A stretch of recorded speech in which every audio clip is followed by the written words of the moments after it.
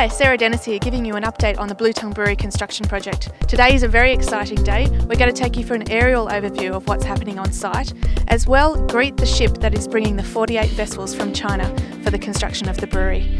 So let's get going.